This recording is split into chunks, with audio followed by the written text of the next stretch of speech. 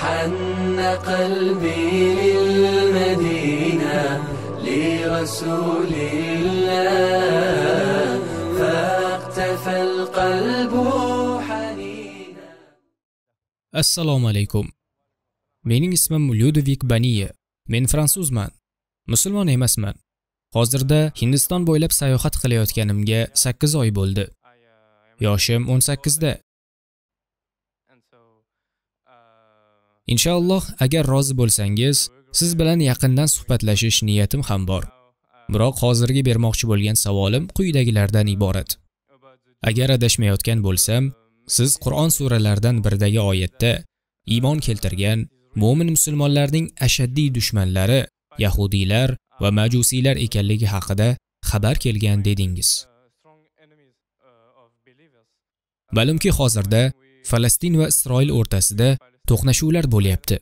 Mana shu to'qnashuvlarga yuqoridagi oyatni musulmonlar va yahudiylar bir birlariga dushmandirlar deya noto'g'ri talqin qilib sharhlanishi sabab bo'lmayotganmikin?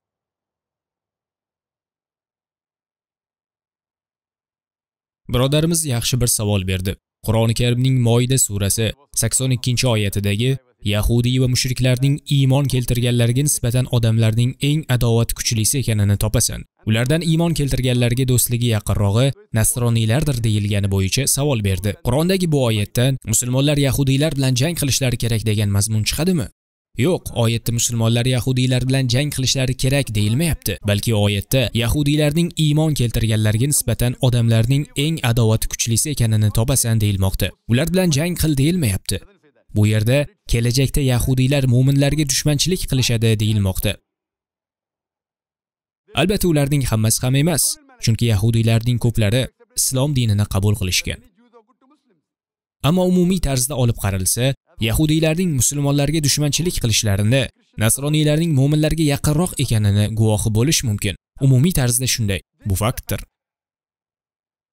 mazkur oyatda qur'on yahudiylarni kelajakda musulmonlarning ashaddiy dushmanlaridan biri bo'lishini bashoratini bermoqda shu yerda biz falsifikatsion testni qo'llashimiz mumkin faraz qilaylik hozir yahudiylar qavmi jamlanib qur'onning soxtaligini isbotlash maqsadida atigi 3-4 yil davomida nasroniylar bilan do'st tutinib, Falastindagi urushni to'xtatamiz deyishlari mumkin. Falastindagi voqealar hammamizga ma'lum. Yahudiylar Gitler tomonidan quvg'inga uchragan. Gitler 6 millionta yahudiyni hibsga olgandi hamda Germaniyadan quvib yuborgandi. Arablar, ya'ni kim falastinliklar, yahudiylarni ahlan va sahlan deya ko'ksilarini keng ochib kutib olishdi. Bir necha yillardan so'ng esa arablar o'z uylaridan quvilishdi.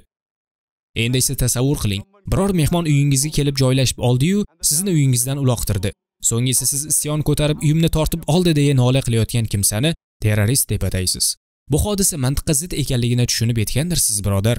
Ular qilish kerak bo'lgan ish faqatgina bir necha yilgagina birlashib, muammoni hal qilish. Muammo nimada?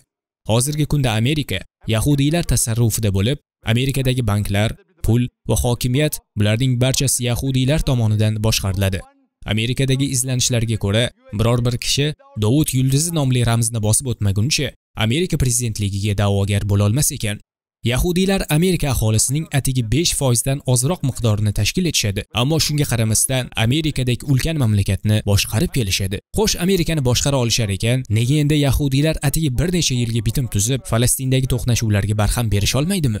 Bir umrga emas, atigi bir necha yilga 4-5 yilga xolos muammo qolmasdi. Demak biz musulmonlar yahudiylar bilan jang qilish kerak demayotgan ekanmiz. Aksincha, Qur'onda aytiladiki, hatto dushmaningiz tinchlikka yon bossalar, siz ham shunga yon bosing deyilgan. Bu Anfal surasi 61-oyatda keladi. Ammo ular tinchlikka yon bossalar, biz ham shunga yon bosishimiz kerak. Qur'on doimo tinchlik tarafdori. Ammo ular tinchlikni istashmasa, bizga qarshi urush ochsa, biz nima qilishimiz kerak? Islom salomatlik dini. Ammo u oyatda bir ogohlantiruv bor. Bizlar yahudiylardan ehtiyot bo'lishimiz kerakligi va toki ularning o'zlari urush ochmagunlaricha urush ochmasligimiz ogohlantirilgan. Endi Falastinda va dunyoning boshqa joylarida bo'layotgan hodisalarni bir tafakkur qilib ko'ring. Demak, birodarim, tinchlik bo'lishi uchun Qur'on ko'rsatmalariga ergashish kerak ekan. Agar dushman bo'lsa ham sulhga chaqirsa, isloh qilishlikdir. Qur'on yahudiylar dushman bo'lishi kerak demayapti, balki dushman bo'ladi demoqda. Umid qilamanki, savolingizga javob bera oldim. Rahmat.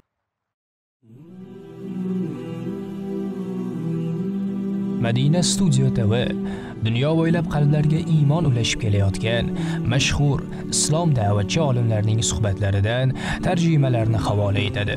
Marhamat tomosha qiling fikr yuriting ulashing va obuna bo'ling. Madina studio tv ilm ila iymon sari yo'l ilm ila iymon sari yo'l.